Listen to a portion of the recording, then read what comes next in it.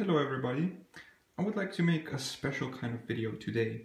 Um, now as you can see I have a MacBook Pro here. I've been a Mac MacFag for the past three years. Um, although I'm an avid uh, Linux user, uh, I use my Mac for a lot of things as well. Um, every half a year or so I try to run Linux on it. Um, this is actually one of the reasons uh, or one of the desires that I've had since the beginning is to just get the MacBook and run Linux on it. And unfortunately, uh, I haven't been quite able to do so. Now, in this series of videos, I will show you different um, Linux distributions and, and how do they run out of the box on my uh, 2012 15-inch uh, MacBook Pro. Uh, this is a Retina model, so the first Retina model that Apple made uh, and um, without further ado, here we go. So what I have here is Antergos OS, hopefully I pronounced that correctly. Uh, and it's a Arch Linux based distribution, which comes with a like really, really nice installer for basically Arch and a couple of extra niceties. So it makes it more uh, Ubuntu-like experience, um, if, if that's okay for me to say. Uh, so the first thing that I noticed is when it booted up, um, it actually looked pretty. Uh, scaling just worked out of the box. It was pre-configured uh, to just work. And I was like, oh, awesome, Retina is supported now. Um, so what I have here is GNOME 3.14. Now I believe tomorrow GNOME 3.16 is being released, which comes with a lot of new improvements uh, for uh, high resolution displays. But anyway, I, I, I digress. Um,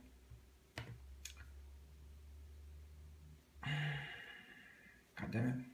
I already have it open. Sorry, I'm not that familiar with GNOME. I've been using uh, Unity for quite a while now. Um, anyway, so the Retina display seems to just work out of the box and the scaling works pretty well, but it only does so in the GNOME apps. And once you go into something else, like for instance I have Google Chrome running here, you can see things are absolutely tiny. So if I open uh, if I open Reddit right here and close it up, it looks fine. But then this is like uh, the big picture view and uh, you obviously can't see anything. So scaling isn't quite enabled in all the applications. Um, but if I click on one of the components, for instance, the menu right here, it opens up in a scaled mode. So I guess uh, the Retina support still has ways to go on, on uh, Linux or on uh, GTK and GNOME Shell at least. Okay, so let's move to the next uh, topic, the keyboard. Um, a lot of the controls work now. Actually, I believe all of them do. So for instance, there is a volume up and down. And as you can hear, um, audio works out of the box. And we have play, next, sorry, play, next, forward. I don't have audio player open, so it doesn't quite work. Um, and we have backlighting on the keyboard. I'm not sure if you can see it, but I can increase it or decrease it and it works just fine. Um, these two aren't bound to anything. And then we have the display brightness. So as you can see, it works just fine. Now, one thing that you don't get is an auto brightness. So if I cover the camera, um, nothing happens. It doesn't brighten up or down based on the environment. Um, the touchpad seems to kind of work.